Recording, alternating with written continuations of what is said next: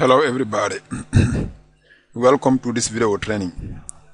Today we're gonna study this protocol called HSRP.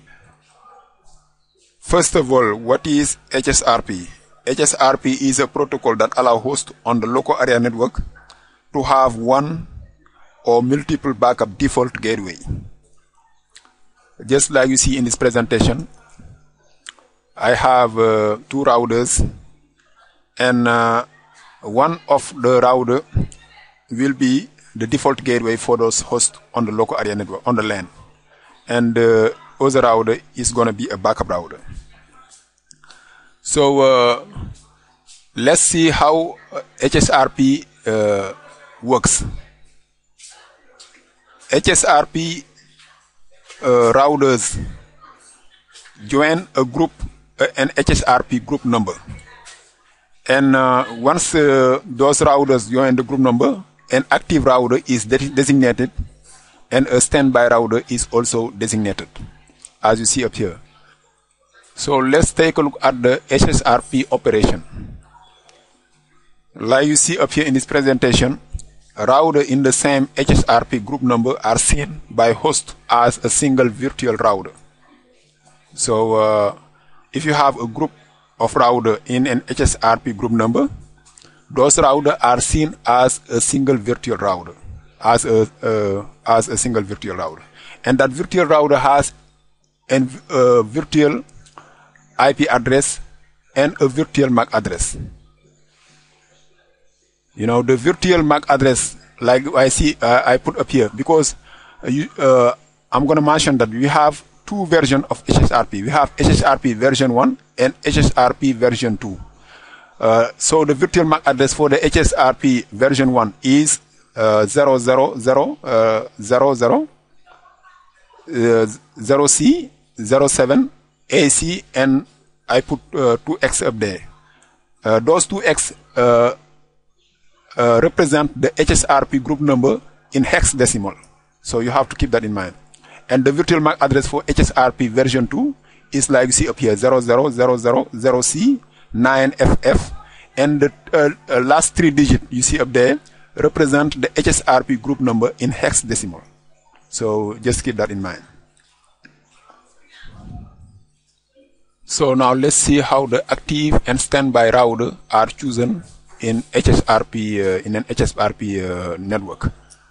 So HSRP router exchange what we call uh, HSRP uh, messages called uh, hello messages. So they ex they exchange hello messages, and the HSRP routers go through an election process like you see up here uh, to choose the active router and the standby router. And this election is determined by the highest priority. I mean, what I mean about that is the router with the highest pri priority will be the active router and the route, uh, the next router uh, with the highest priority will be the standby router. But uh, since uh, uh, you should know, uh, I'm gonna, you should know that all the HSRP router by default have the same priority of 100. So the router with the highest IP address will become the active router. So because they have the same priority, so the IP address will dictate or will determine the active router and the standby router if the priority is the same. So you have to keep that in mind. So once the election is done, only the active and standby router send periodic uh, HSRP messages. So wh what I mean about that, so if you have more than two routers, only you you cannot have more than one active and standby router. You you're gonna have only one active router and one standby router. So the other router will uh, uh, will not uh, send uh, hello messages. They, they just maybe going to be listening for hello messages. So if the if the active router fell, the standby router will take over as the active router. And if the standby fails or become the active router, then the another router, if there is another router in the in the group, the router will be elected as the standby router. So you have to keep it. that's how uh, the election process work with HSRP. So uh, now let's talk about uh, because a lot of people do, not understand those HSRP states. So I'm gonna try to explain you because we have six states with, HSRP, the router can be into one of those six states. States. Uh, first of all, the initial states, that means HSRP has just started. I put up here, but this what, what it means is HSRP, if uh, like the interface is down and uh, you, HSRP is configured, is gonna you're gonna see the router is gonna be in a, in the initial state. So that means if the interface is, is down, so the router is in the initial state. The learning state is uh, the router is uh, uh, have HSRP running, but it is uh, it does it, the router the router don't doesn't know about uh, the virtual IP address. And for the listening state, now the in this state the router know the virtual IP address and is receiving the hello messages. Usually, uh, like the, those routers that are they uh, uh, they uh, they're going to be uh, uh, the router is going to be on the listening state if the router is not the active router nor the stand the the standby router. So the router is going to be usually on the on the listening state, and the speak state is when this router is sending and receiving hello messages. Usually the state is when the, the router are on the election process. So when they try to determine the standby and the active router, so usually the the the, the, the, the those, those HSRP uh, router they're going to be on the speak state, and the standby uh, state is the router that uh, the the router the standby router is going to be on the standby state, and the active router is going to be on the active state, and each state has a number up here. I represent like number one is is in initial, number two is learn, like because when we're going to be uh, opening the HSRP packet, uh, hello packet, you're going to see those number in the in the inside the packet. So when I when I'm going to uh, go through the configuration. So now finally let's talk about the difference between or the doing a small comparison between HSRP version 1 and version 2. So, uh, like I told you, you know, you, you, already know that because the, the MAC address, the virtual MAC address is not the same between HSRP version 1 and version 2. And version 1 messages are sent on the multicast 224.0.0.0.2. And HSRP version 2 messages are sent on the multicast address 224.0.0.102.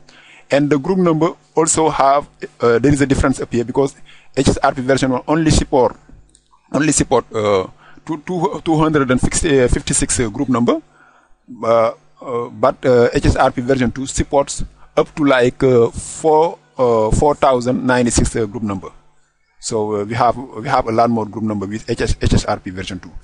And right now I'm going to try to go to Cisco Packet Tracer because with Cisco Packet Tracer 6.0, you, you're gonna have you're gonna see that those uh, devices run HSRP version 2. So we're gonna be working with HSRP version 2. So I would like to for you guys that watching the video to keep that to keep that in mind. So let's come now right now to uh, Cisco Packet Tracer. So as you see up here in Cisco Packet Tracer, I have a simple diagram up here. I have uh, two router, those two router, router 1 and router 2, they're going to be on in the HSRP group. And I have router 3. Router 3 is going to represent, is going to simulate our outside world up here. So that's why I put outside world up here. Router 3 is up here. And router 3 is uh, uh, connected to those two routers up here. And I have a single PC this is going to be a testing PC we're going to use in order to uh, verify the configuration for HSRP. Uh, so, so I hope you, and I already labeled the interfaces like up here. In this network up here, I have the 192.168.1.0 network. And up here on this, uh, uh, uh up here, uh, like the connection with the router 3, between those, between router 3 and those two routers, uh, is going to be the, the network 192.168.2.0. So let's go back to the presentation. So we're going to be talking about the configuration. The configuration is a piece of cake, but uh, for me, my focus is to understand the HSRP concept, concept, because that's where a lot of people uh, uh, will have problem. Uh, because it's going to be, believe me, it's going to be just a single command in order to turn HSRP on on the router, or in order to make this router uh, Uh, uh, running HSRP, you just need a single command. But uh, of course, the, you're going to need some uh, some other command in order to uh, to tune the the protocol. But just a single command, the HSRP is running on the router. The like you see up here, this is going, is going to be this command up here. And like up here, I put up here, this is very important. The virtual IP address, because you're going to have to choose a virtual IP address. That virtual IP address should be the default gateway for the host on the LAN. So in uh, order to show you that, let's go back to Cisco packet tracer. Yeah, like you see up here, this uh, host, I told uh, I told you this host is on, uh, on on our LAN, the local area network, and this host will have a default gateway, uh, which point which is gonna point to the virtual IP address uh, for those two routers. So in order to do the configuration, I'm gonna I'm gonna first of all try to do a configuration for OSPF because let me I'm gonna advise you that if you are doing HSRP, if you are uh, uh, if your router are running HSRP, I'm gonna advise you to use a protocol like OSPF uh, because it is a fast protocol or EIGRP. But don't try to use like a protocol like RIP because uh, it's gonna mess up your network. So just try to use a fast routing protocol in uh, with HSRP. So I'm gonna go to router router one up here. I'm gonna go to the global config mode, conf t. I'm gonna do router OSPF. This is gonna be very fast OSPF because I hope you guys know how to do the OSPF configuration. I'm gonna do network 192.168.0.0 0.0 dot uh, 0 dot 255 dot 255 and I'm gonna do area 0 area 0 uh, and that's it. So uh, I will do the same up here.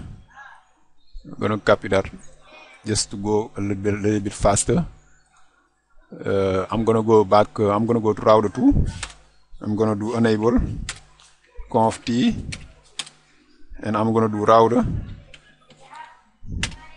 OSPF 1 and I'm gonna just paste that so it's gonna be quicker. Area 0 and uh, router you see router 2 has form a neighbor relationship with router 1 so I'm gonna go to router uh, router 3 I'm gonna do the same thing.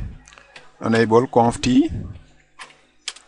Uh, uh, conf t uh, I made a mistake conf t. And I'm gonna do router ospf ospf1 OSPF1 and uh, I'm gonna do network. I'm gonna paste that. It's gonna be faster. So uh, OSPF is running on both of these routers up here as you see up here.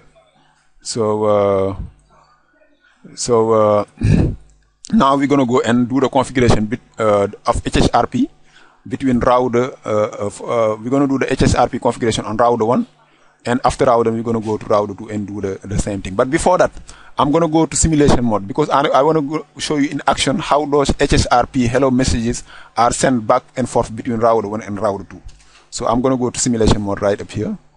Uh, and I'm going to choose uh, HSRP up here. And let's go now right now to uh, let's go to router router 1 and like I told you up here in the presentation, put that in mind. The configuration for HSRP is done through the interface configuration mode. So everything you're doing with HSRP is done uh, through that interface. Uh, that's going to do HSRP. So uh, let's go back to uh, to Cisco Packet Tracer. Okay, now let me exit from here. Exit. So the interface we're going to be working on with router one is going to be FA0 slash one. So I'm going to open up router one up here. I'm going to do interface uh, interface f0 slash 1 and I'm going to do a standby standby and I'm going to do 16 that's that's going to be my group my HSRP group. And let's use the question mark it's going to ask you the IP address. Enable HSRP and set the virtual IP. This is IPv6. The reason why we have this is version 2 support, support, uh, support IPv6, but version 1 I think don't support IPv6 up here. So let's use the, the question mark, do IP, and let's use the question mark. It's going to ask the virtual IP address, like what I told you. And in this case, I'm going to be using, the, and the virtual IP address has, has to be an IP address that's going to belong to this, to this network up here, to this 192.168.10.1.0 network. You have to keep that in mind. So I'm going to go uh, to router 1 back, I'm going to do 192.168.1 dot uh, 5 and as you see that's it. That's all you need. So this router is running now HSRP so let's go to, to router 2 and do the same thing we're gonna exit from here. And we're gonna do interface. FA 0 slash 1 and we're gonna do standby. That's how you do it. Standby. And we're gonna do uh, 16 that's the group number. So let's use the question mark in order to show you. Always start with the group number 16 and we're gonna use uh, the question mark. And it's gonna ask the IP we're gonna do IP because we aren't working with IPv6 so IP 192.168.1.5 so that's gonna be the virtual IP and that's it so now you are done let's now try to see how does uh, you see uh, R1 is sending a, an HSRP hello messages. Let's open the, the, this packet up here and let's see what's inside. You see up here? So uh, let's, uh, as you see up here, the destination IP, I told you it is the multicast address 224.0 as you see up here.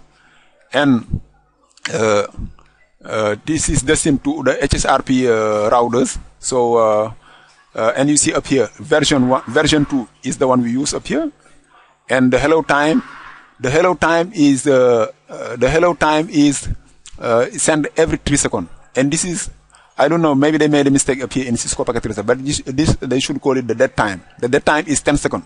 So uh, like if the router wait 10 seconds and didn't receive a hello message it's gonna it's gonna consider the the neighbor as uh, as dead you know? That's the uh, that's what we call the dead time up here. And you see the priority I told you is is by default 100 and the group that's what I configure group 16 and this told I told you the state. If you go back to the uh, to the presentation up here you see the state number uh, number 4 is uh, the speak state. So we can conclude up here. We can conclude up here to say that this router is is now on the speak state. Of course because it, it is sending the hello message that means it is on the speak state.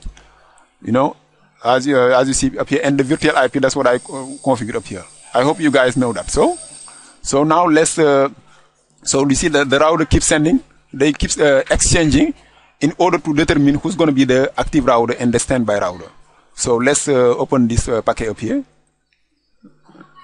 so what I think up here this router is going to be the active router because it has the highest IP address so let's start the simulation so in order to verify that, let's go to router to router two. In order to verify that, let's uh, do a show.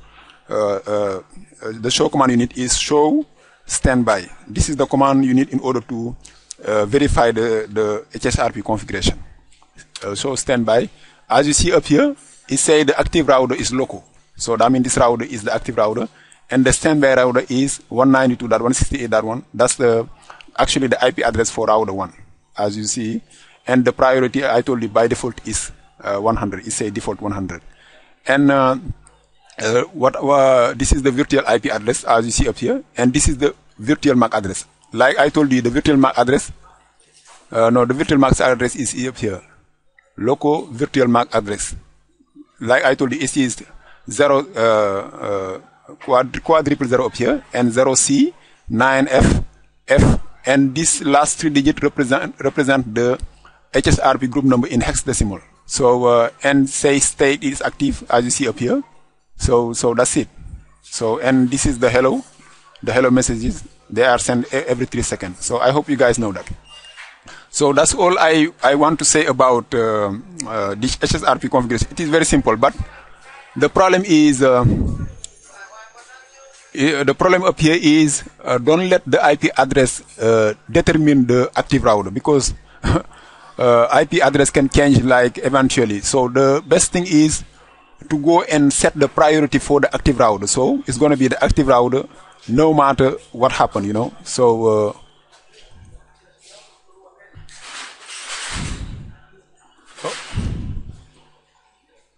Okay, now I'm going to go to router 2 up here and I'm going to try to change the priority. So uh, in order to do that, let's go, we're going to have to go to the interface configuration mode. conf t I'm gonna do uh, interface f0 slash 1 uh, f0 slash 1 sorry about that. And I'm gonna do a, a standby. Standby. Let's use the question mark. And you see priority up here. That's what you're gonna have to choose. Priority. So let's do it up here. Priority. Uh, priority. And uh, let's use the question mark.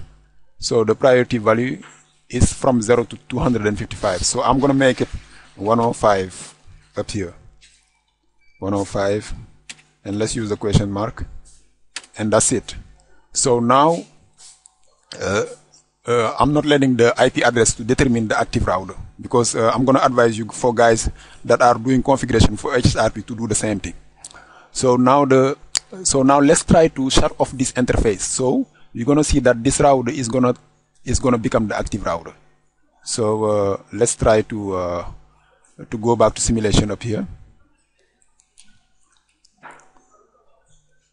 And I'm gonna try to uh, to go to this router up here. From FA0 slash 1 I'm gonna try to shut down this interface. Shut it down up here. So you see now the interface is shut down. So the the so the problem is uh, now uh, this router should now try to uh, you see this router is gonna send a hello message as hello uh, uh, this hello message is called a resign hello. Because the the router is uh, is uh, is now telling that he's leaving he's out of service you know. So you see this router is uh, is try is becoming the active router because now you see the state is state 6 if you go back to the presentation we know that state 6 is active router so now this router has become the active router and in order to prove that let's stop the simulation up here. So let's go to the router. And you see up here? Uh, let me make this uh, bigger it says it say active. From standby it goes to active. And in order in order to prove you that let's uh, try to uh, do a show command. Uh, show standby. Show standby. And as you see up here it say the active router is now local. And the standby router is unknown. Because this router up here now cannot communicate with this router as you see up here. Uh, cannot communicate with this router and if you go to this router up here and try to uh, uh, to do a show command uh, show standby let's do a show standby. And you see now it say the active router is unknown and the, stand, and the standby is in unknown. And it say the state is in init state uh, init state. You see? The reason why because this router the interface is down. That's why you have this state up here. The, the first state is say init state. That's how you you understand the, those hsrp states up here. So uh, i hope you guys know that. So now let's try to bring this interface uh, back again. So uh, let me open up the router. I'm going to go to interface fa0 slash. I'm going to turn it on. So let's give it some time so now what you what you may think is you may think that this router uh, router 2 is going to become the active router once it, uh, this interface comes back up. But uh, you you are if you think that way you are wrong. Is uh, this, this once the router is active it's going to stay active until this router goes down. So that's what i mean about uh, so uh, there is a future you can configure. That that's what we call pre, preemption. Let me go back to this router up here you see when we go to show standby you see it say preemption is disabled. So in order to configure preemption let's go back to to the interface configuration. And we go, we're going to do interface fa0 slash 1 we're going to do standby. Standby uh, 16 and uh, that's the group number. And we're gonna do preempt. That's how you preempt. If you don't if you don't do preempt up here this router is not going to be able to become the active router once the interface comes back up. That's what i was trying to explain you. So the next thing i'm going to talk about is what we call interface uh, tracking. So you see this router is connected to this network up here 192.168.2.0 network So if one is, uh, for example, you see router 2 is the active router, is now the active router. But if I, uh, this interface is down, uh, FA0 slash 0 up here, if it is down, this router is going to still the active router and that's no good. So in order to resolve that, there is a feature that uh, HSRP have, that's what we call interface tracking. And in order to configure that, let's go to the router, router 2.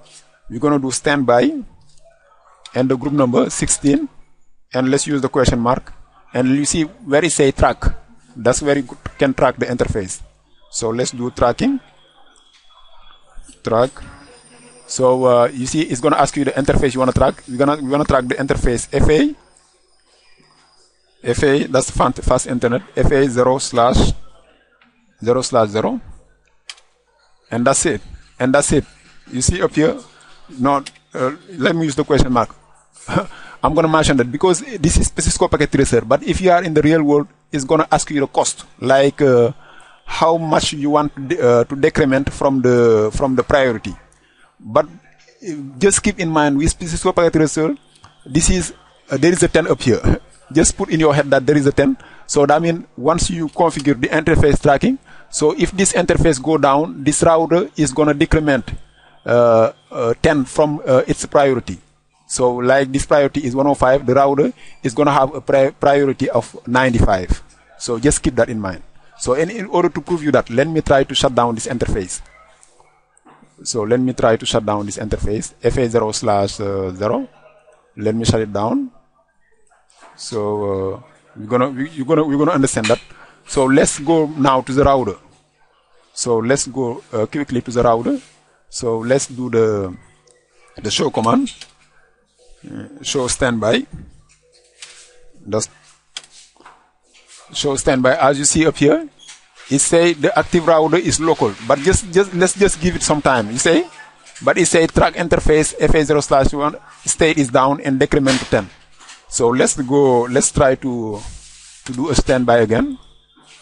So it should uh, let's just give it some time. But this router should uh, in no time should be this router should be the the active router router one. So let's uh, try to do the show standby up here. It says standby router is local and the default priority because the reason why I forgot to uh, to do the preemption up here. So I'm going to do preemption. I forgot to configure preemption.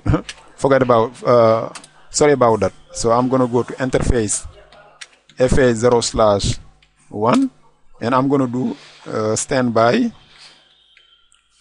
uh, 16 because you have to do preemption on both sides otherwise you will have a problem. So preempt.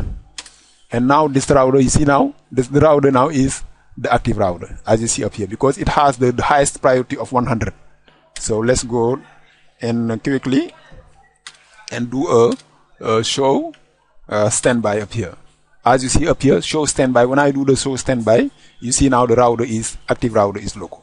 So that's how you can uh, uh, play with those uh, those uh, those uh, how you can play with with the interface tracking. So the the last thing I want to show you is I'm gonna try to use this PC up here.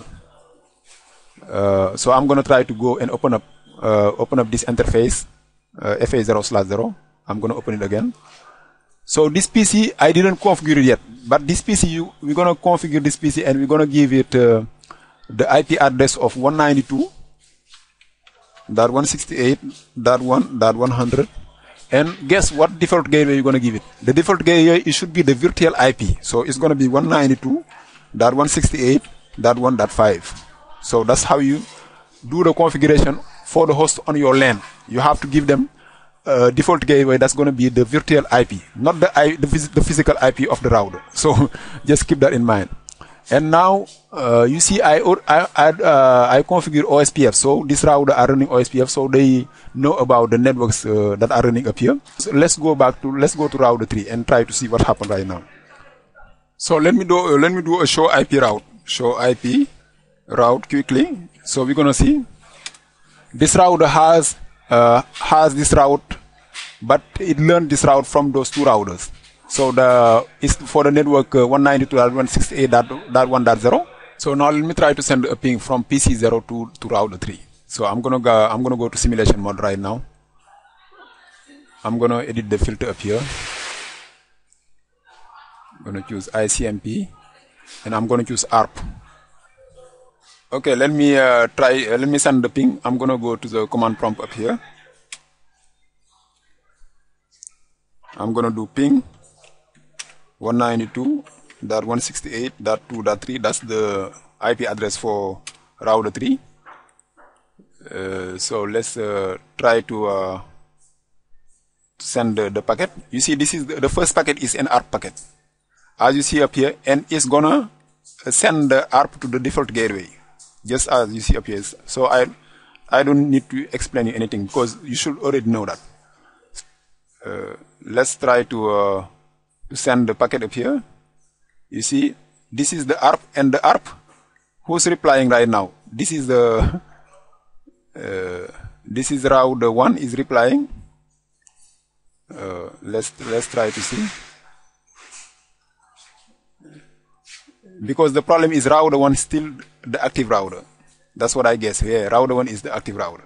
So as you see up here, because the reason why is uh, maybe this guy has a lowest priority, but you see the packet has go to router one, route and to the to router three up here as you see up here the packet. But when the packet come back from router 3 it's going to go to router 1 router and to the PC but uh,